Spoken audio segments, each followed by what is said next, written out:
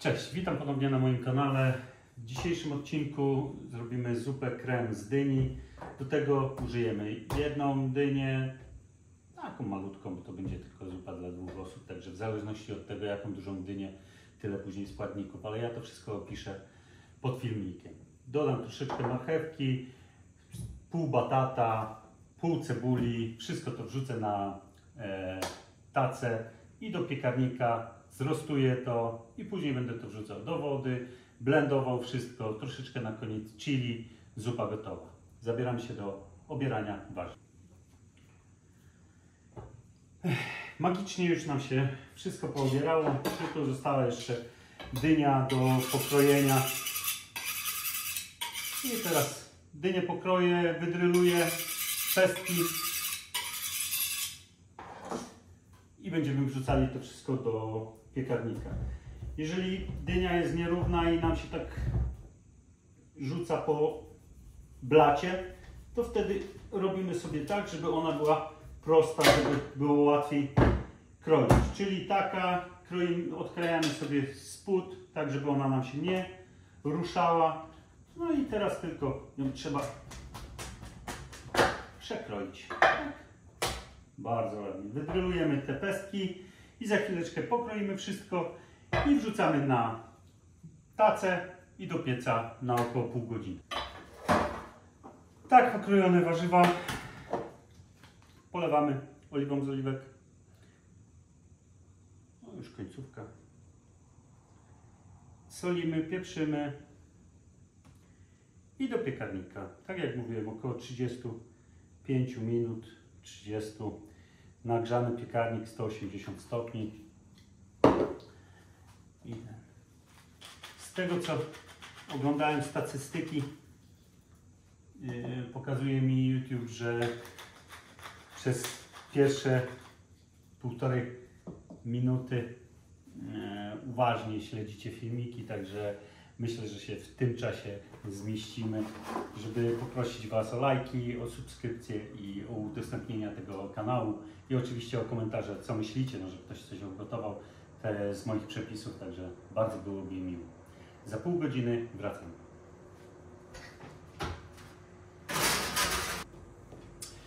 Minęło 35 minut. Zobaczymy, co tam nam się zrostowało.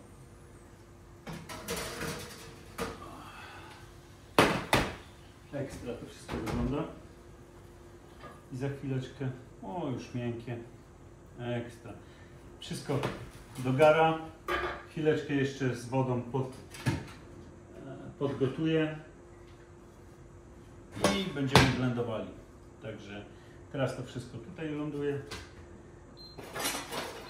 i widzimy się za chwilę. Pomyślałem, że poobieram trochę tą dynię, to od razu Wam pokażę jak ja to robię.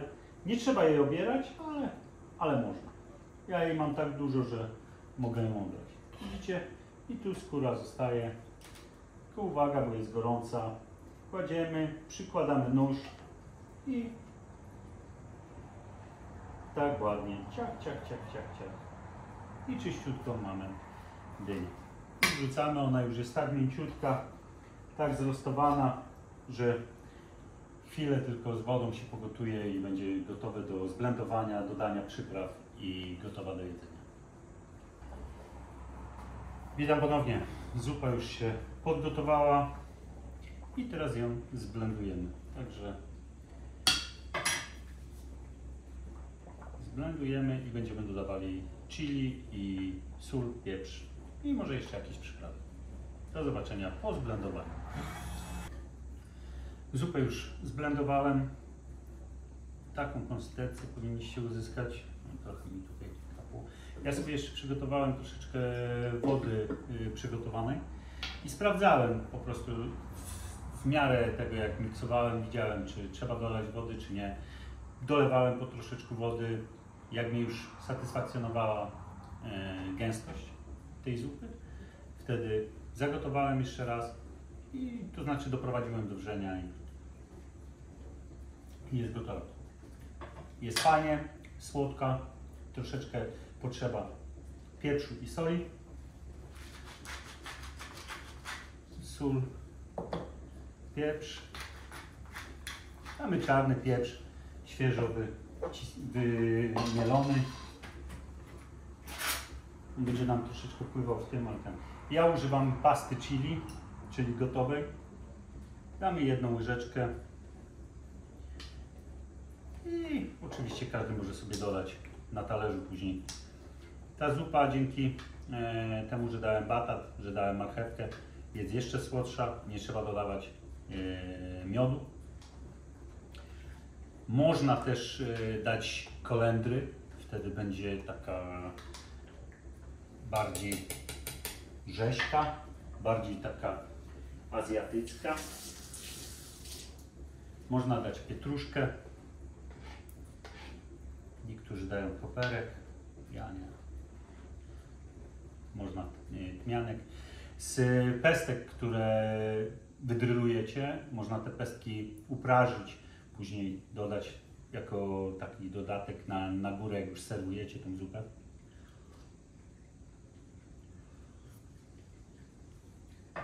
Ekstra. Słodkawa, zostawia pikantny posmak. Rewelacja. I co? Serwujemy. Szafka się nie zamknęła. Dobra.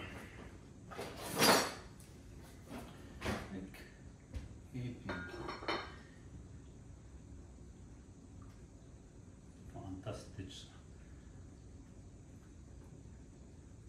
Bardzo dobra na jesienne, takie zimne dni. Nie wiem, robię teraz, jeszcze jest lato, ale damy coś zielonego. Bazylię. Bo bazylię mam, to bazylię dam.